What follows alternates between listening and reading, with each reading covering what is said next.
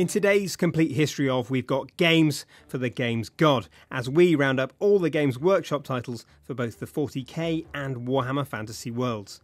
Because in the grim darkness of the future, there is only CVG. Our first title is Hero Quest, which came to home computers in 1991. This was a pretty faithful recreation of the board game without the horribly painted miniatures and arguments about who got to be the barbarian. This was followed up the next year, rather unsurprisingly, by Space Crusade, the 40k equivalent of Hero Quest, which had you stomping around an alien infested spaceship. The trend continued the following year with Space Hulk for Amiga and PC, a grueling fight between massively armoured Terminator Marines and endless four armed Genestealers. Hero Quest 2 The Legend of Sorasil followed in 1994, an Amiga sequel to the 1991 original featuring eight characters. In 1995, we got Space Hulk Vengeance of the Blood Angels. Again, this was a mix of tactical manoeuvres and frantic first person gunnery, and again, it was harder than Ceramite. The first Blood Bowl game arrived on PC the same year, the brilliantly brutal Warhammer Fantasy version of American football real time strategy game Warhammer Shadow of the Horned Rat came to PC and PlayStation in 1995, giving us the closest thing to date to Warhammer Fantasy's epic tabletop battles. Final Liberation, a turn based game set to the staggering scale of Warhammer 40,000 Epic, arrived on PC in 1997. More tactical warfare followed in 1998 with Warhammer Dark Omen. This was a sequel to Shadow of the Horned Rat, and once again, it more closely resembled the nuanced military tactics of the actual tabletop game. The same year, we got Warhammer 40,000 Chaos Gate for PC. This was a strategy title which put you in charge of a squad of Ultramarines, who, as everyone knows, are not as cool as the Dark Angels. More 40k stuff came in 1999 with Rites of War, another PC turn based game centered around a Tyranid invasion. We then got a break until 2003, which gave us Fire Warrior on PC and PS2, a first person shooter which put you in control of a Tau soldier. Things got really interesting in 2004 with the entirely brilliant Dawn of War on PC, a strategy title which perfectly captured the gothic, mechanised gloom of the 40k universe.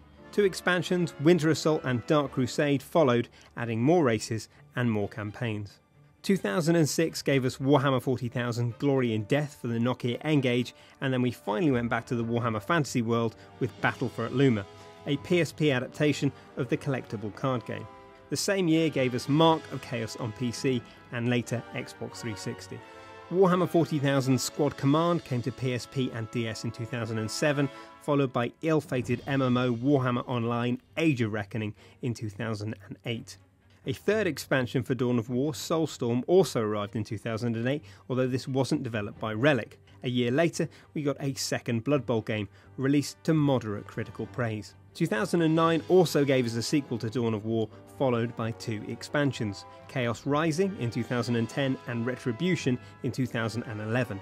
Arcade shooter Kill Team also came in 2011 alongside Warhammer 40,000 Space Marine, a brutal third person shooter that was to be THQ's final Games Workshop title. Warhammer Online Wrath of Heroes was a MOBA intended for release on PC in 2012, but it never progressed past beta. After that came Warhammer Quest, a mobile update of the excellent Games Workshop board game. Space Hulk also made a return in 2013 to horribly damning reviews.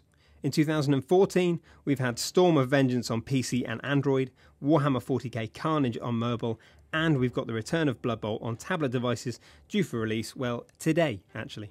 Looking ahead, there are loads of Warhammer games on the way. This year, we can look forward to the Horus Heresy Drop Assault, Warhammer 40,000 Armageddon, and Warhammer 40,000 Chess. We're also getting Warhammer 40k Space Wolf, Mordheim City of the Damned, and most excitingly of all, an untitled Warhammer fantasy game from Total War developer Creative Assembly. Looking further into the murky future, 2015 will bring us Eisenhorn Xenos, Warhammer 40,000 Eternal Crusade, Space Hulk Deathwing, and a final untitled Warhammer fantasy title developed by Rodeo Games. And in the name of the Holy Emperor of Mankind, that is your lot. Please let us know what your favourite Warhammer gaming moment was, which Space Marine chapter you follow, and how long you spent painting the miniatures. In the meantime, please check out some of our other history videos by clicking the on screen links.